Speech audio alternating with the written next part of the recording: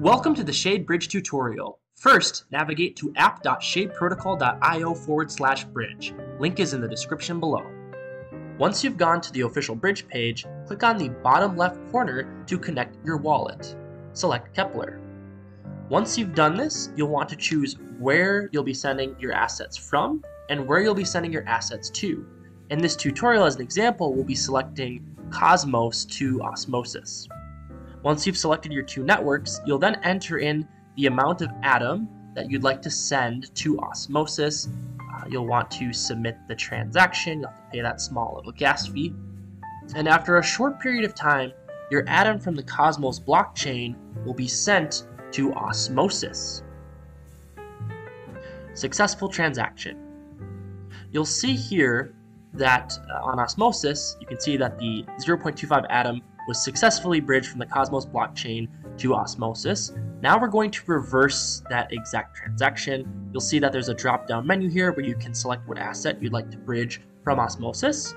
We've selected Atom and we'll be sending that 0.25 Atom that we just sent to Osmosis right back to the Cosmos blockchain, back to our Keplr wallet.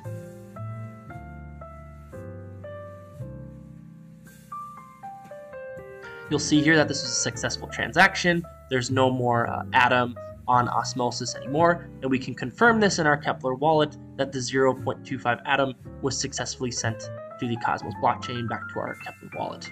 Now we'll be bridging some Atom from uh, the Cosmos blockchain to Secret Network.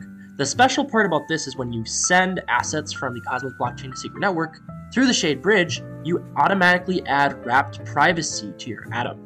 This means that the Atom become becomes a privacy preserving version of the assets, such that when you move uh, this private atom around on the secret network blockchain, uh, your transactions are kept private, and so are your DeFi interactions.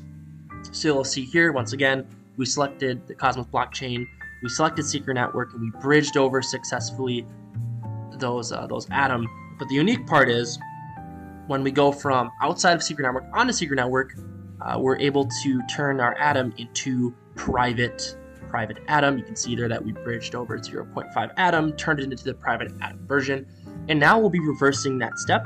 We'll be turning our privacy preserving uh, atom from Secret Network back to the public version and send it back to the Cosmos uh, blockchain. So we're bridging over 0.5 private atom and sending it back to the Cosmos blockchain. Go ahead and select the transaction fee there.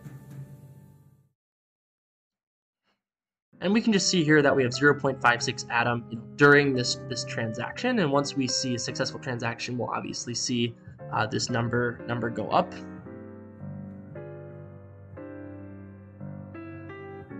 There we have it, successful transaction. We'll go ahead and check our portfolio page.